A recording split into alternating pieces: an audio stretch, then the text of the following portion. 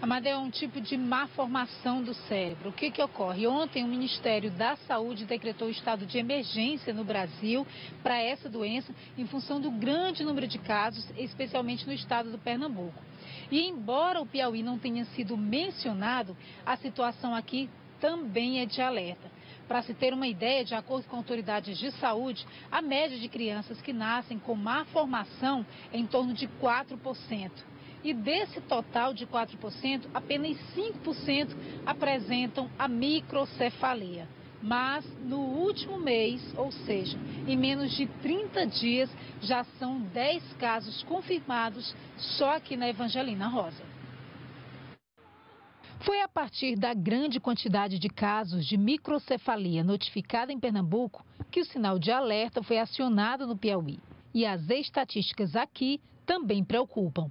Nas últimas três semanas, dez crianças nascidas só na maternidade Dona Evangelina Rosa apresentaram má formação.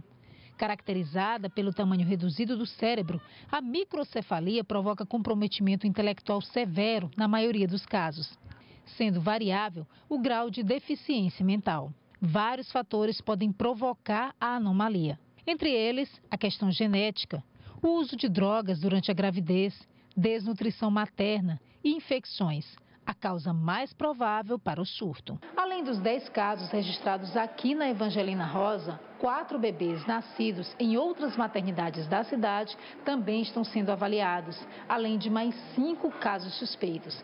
Seriam pelo menos 20 ocorrências em menos de um mês.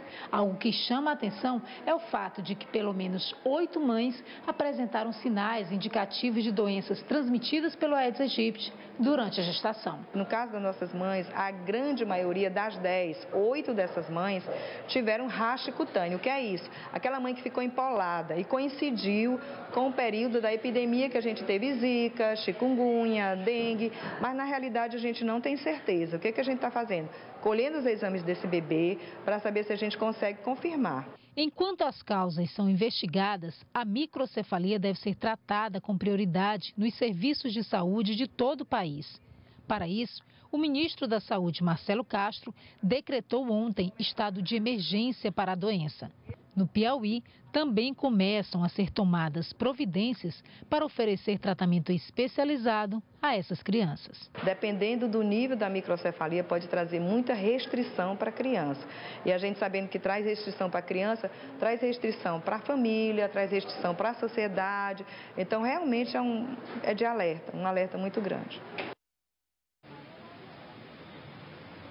Situação preocupante. Representantes da Secretaria Estadual da Saúde estiveram hoje aqui na maternidade Dona Evangelina Rosa para tomar par dessa situação, de quantos bebês de fato apresentam a microcefalia, o que, que teria sido o que, que, teria ocasionado, na verdade, fazer um mapeamento aí de todos esses casos para que sejam adotadas providências no sentido de evitar novos surtos. O que, que deve se fazer? Na verdade, o que as autoridades pretendem é para que o próximo ano possa ser evitado surtos dessas doenças que possivelmente venham ocasionar microcefalia, que seriam esses tipos de infecções, os vírus que disseminam a zika, a chikungunya e também a dengue. Evitando esse tipo de doença, pode-se reduzir também os casos de microcefalia. A nossa produção também entrou em contato com a Secretaria Estadual da Saúde, mas só o secretário, Francisco Costa, tem informações, na verdade está autorizado a falar a respeito das providências que devem ser adotadas. Ele se encontrava em uma audiência pública. Amadeu.